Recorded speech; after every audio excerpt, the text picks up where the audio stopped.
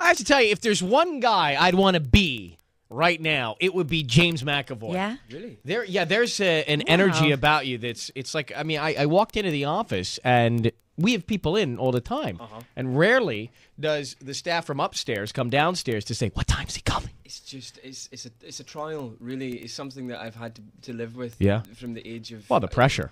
four, I'd say I discovered my power to attract people physically, not not sexually, not necessarily Yeah. sexually, but certainly like a magnet. That's right. Sometimes people stick to me and I can't get through. and and James, how do you deal with all the attention? Um, I mean, I see the way Brittany's dealing with it. it, it, it keeps me happy. Yeah. It keeps my ego inflated. Sure. And uh, you know, without it, really, I'm a shell. I'm nothing. Um, so I, I, I, I crave it. I court it. I, uh, I, I deal with it. On a regular basis, you just get up every day, and apart from the work, you look for people to compliment you, don't you? I do really. I, I kind of walk. I walk down a shopping centre or a shopping mall. Yeah. And I kind of stand beside people who I think might have recognised me, and I say to them, "Hey, hey, hey, guy, have you got the time by any chance?" I- and uh, and then when they don't have the time, I say, "Well, it's funny because sometimes I don't wear watches because you know when I'm acting, I'm not always playing a character. I'm not always playing a character when I'm allowed to wear a watch. Yes, I'm an actor.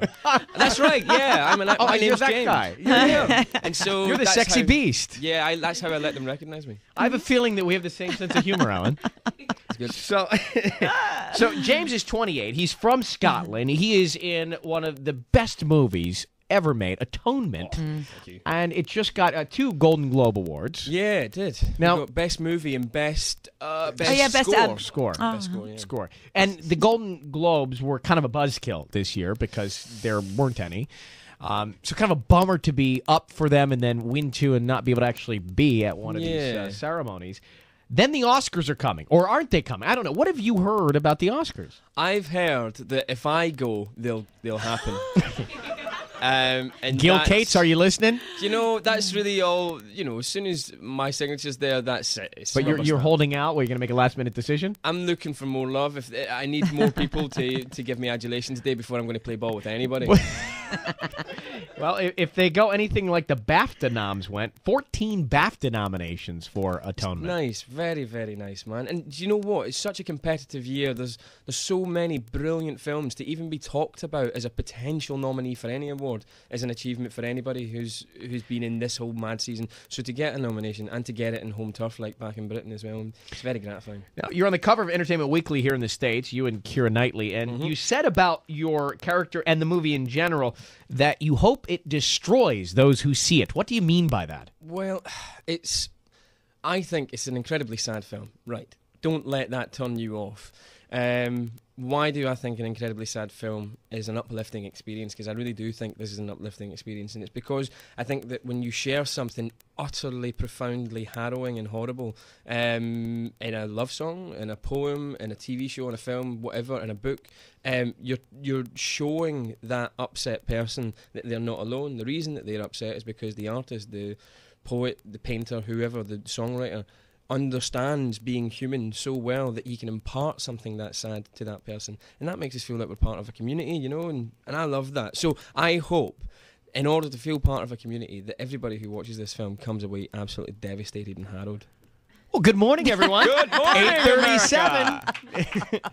Can I say something? right? Please. um, I was first introduced to you uh, on a on a TV show, not in person. I mean, watching the TV show, and you said the most fantastic thing about someone. I'm going to try and, and attempt an impersonation of you. Are you going to do an Oh, American can't accent? wait. I'm, I'm going to give my best All right. Yankee Doodle.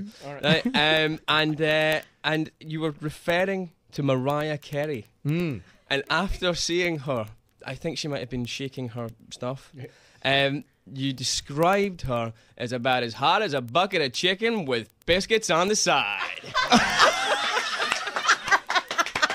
it was fantastic, man. I'd never Where did heard I that. say that? I don't know what it On was. I don't- television? I don't know. Was it the was New on- Year's when she performed at New Year's? Maybe, maybe. It was Were you in the with- States? Uh, no, I don't know where I was. But you Maybe saw it was on... on- Idol Gives Back or something. I don't know. Oh God, I, I- can't believe I said those words I- and like that. I don't sound like that, do I? No, I'm just doing a bad impression. but it was a great. It was such a good sentence. Well, I'll do a scene And from I wanna Atonement know. in a second. Yeah, please Yeah, do. coming up. You can do it. That'd be fantastic. It's 838. We'll come back with James McAvoy. Kiss FM is on. That is Flow Rider from the Atonement soundtrack. It's called Low at Kiss FM. 18 minutes before 9 o'clock. You know, Reeboks with the straps. With the straps. Right. Uh, James McAvoy is here.